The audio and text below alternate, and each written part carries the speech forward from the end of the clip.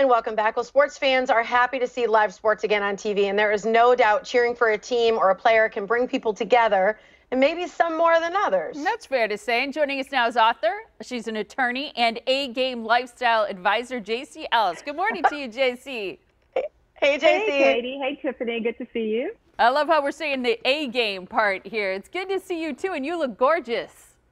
Oh, bless your heart. No blowing hair today. I turned off my fan. I see that. I see that. You look fantastic.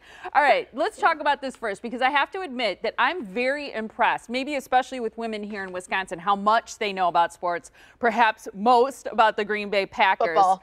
But you say it's good to know a little bit, at least, about sports, even if maybe you're not as interested as some people. Exactly. I think sports is a universal language, right? And I mean, Milwaukee is a sports powerhouse. You've got the Bucks, you've got the Brewers, you've got the Packers, right? So you need to be able to talk the language because number one, even if you don't play sports, I think it just makes you a better conversationalist. One of my, my first job out of college, I, wor- I worked with this guy, senior executive, and he was, you know, very successful, but a bit of a jerk.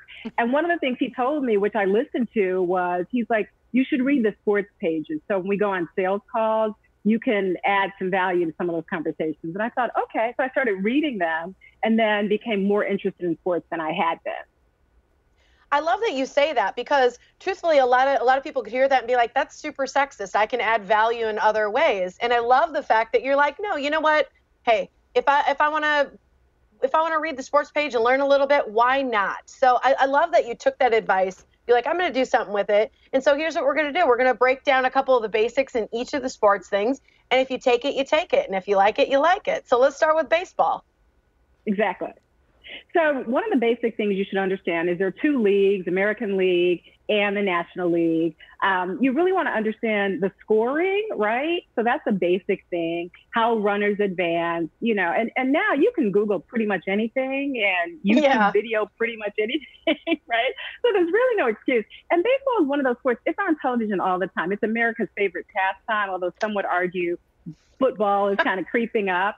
Um, but you do want to understand how many players are on the field, you know, offense versus defense, and just basic rules like how the runners advance. You know, getting into things like a bunt, uh, a double play might be a little more advanced, but just some basic baseball rules like where's the strike zone, how many players there are, what the lineup is, that sort of thing. I always think And who your home team is. Yeah. Well, of course. that helps. But also the the names of the marquee players I think is key. I mean, there are some things you're going to get extra credit for, like what a balk is, for example. But you should uh-huh. maybe know some of the stars.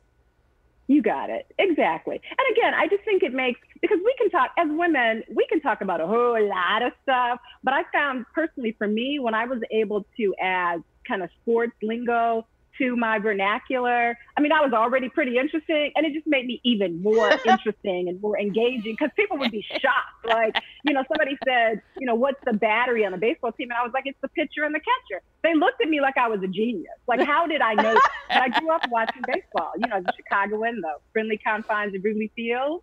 So, That's right. I like Yep. it.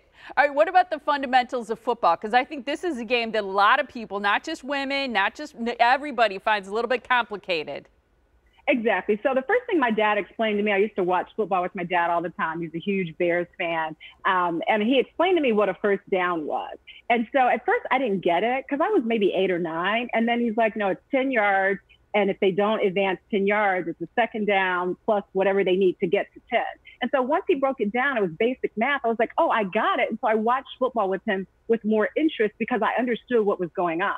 And then he would explain other things to me, like what offsides was, you know, the scoring, like a touchdown is only is six and you get an extra point, a field goal is three. So that kind of stuff started making more sense and it became more fun for me. And I became a football fan because somebody explained the basics. So I like to understand things and not just watch it and not know what's going on. Love it. How about basketball? Because I mean, we love our basketball here, especially with the Bucks right now and Giannis.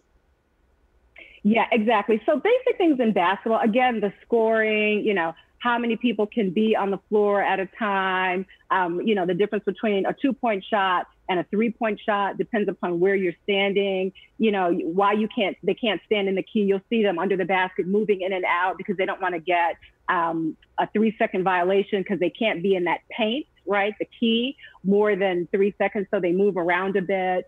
Um, you know what a backcourt violation is. You have so much time to bring the ball over. You only have so much time to score, so they might get a 24 second shot violation. So obviously, we don't have in five minutes, we don't have time to truly educate on all of the different nuances, but there's some basics that if you again understand that, it'll make viewing it a lot more fun. And again, Milwaukee has amazing sports teams. So who doesn't want to watch it and be able to understand what's going on, right? I agree. And we yeah. ran out of time, but I think your last point is about golf and it's very well taken. You say it's as important as a life skill as learning swimming, uh, but golf is great. I think even if you can play just to have fun, like in a scramble, but you're maybe not necessarily good at it or super practiced, but it's a great sport because there's a lot of business conversation that goes on at a golf course. So thank you so much, JC, for Thanks, joining JC. Us.